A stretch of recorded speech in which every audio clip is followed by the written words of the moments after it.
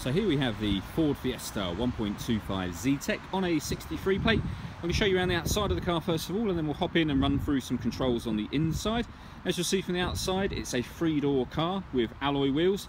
Let's start off inside the boot and then we'll work our way around the rest of the car from there. So you'll see as we approach the boot area, this car's got a 60-40 split folding rear seat and loads of boot space, especially given the car's external dimensions. Okay, so we're just going to work our way back round to the front of the car now before I hop in and run through some controls. But now that I've done a full circle of the car, you can see it's in fantastic condition the whole way round. A really lovely looking car. Just briefly before I jump in, I think it's worth seeing the interior from this exterior point of view so that you can see the condition of the seats, which is fantastic, as are the carpet areas. There's plenty to run through on the dashboard, so let's hop in and we'll do that now. Okay, so let's start with the dials. On the left hand side we've got the rev counter and on the right hand side the speedometer.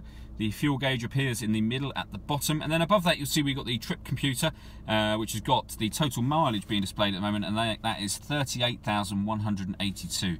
Uh, you can change the information that's displayed up on there by pushing the button on the end of the indicator stalk and you'll get various other bits of fuel economy information all the way back round to the beginning again. Um, if we back out to the steering wheel, on the left hand side we've got stereo controls as well as voice activation for the phone. So pushing that button in the middle and asking it to dial someone from your contacts list, uh, it'll do that for you without you having to touch the phone at all. Obviously you need to pair the phone up first of all, and that is done over in this central screen area just here. So uh, first of all, you'll see this car's got DAB digital radio. It also has AM and FM radio, and on top of that, you can stream music wirelessly via Bluetooth. So once you pair up your phone, not only can you make and receive phone calls, but you can also, uh, say, stream music wirelessly.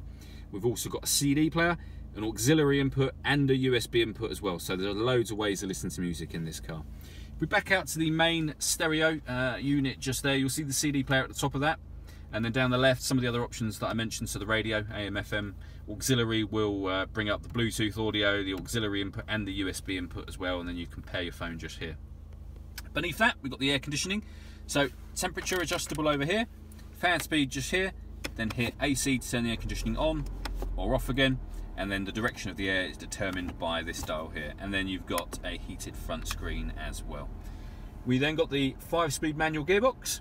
And directly beneath that a 12 volt charging socket, the auxiliary input and the USB input that I mentioned a moment ago. All that leaves me to say is thank you for taking the time to watch this video. If you'd like to come and see the car in person and have a test drive, feel free to give any of our MJA sites a call. We'd love to hear from you soon.